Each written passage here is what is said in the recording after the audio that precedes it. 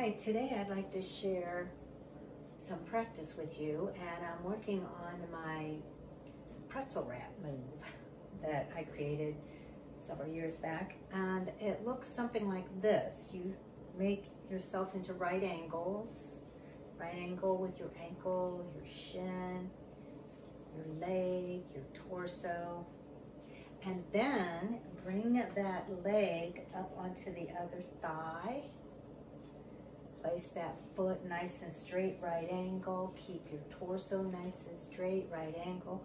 Bring this toe up off the floor. And just sit there. Just sit on your hips and relax. Sit tall. Bring the shoulders down, chest out. Make your abs strong. And now you can look to the right and to the left and look down.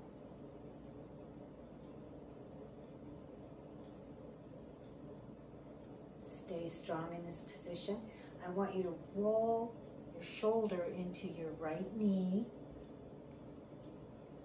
Bring your body down, parallel with the floor. Make your ear parallel with the floor and look toward the floor.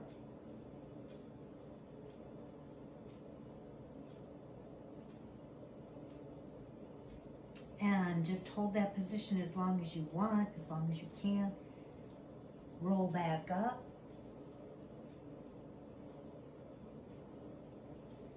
Let's try that one more time. You're just going to bring that shoulder into the knee, nice and slow. Keep those tight right angles. Look toward the floor.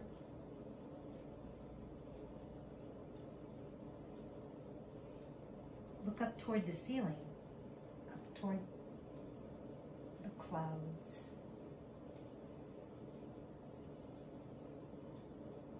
Bring your chin down, roll back up. Again, sit nice and tight. And you might want to look right, look left. Just enjoy this. It helps with stretching in a confined area.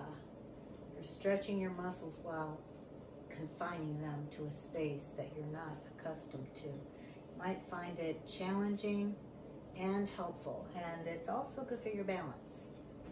So don't forget to repeat that to the other side. And add a little acoustics, relax.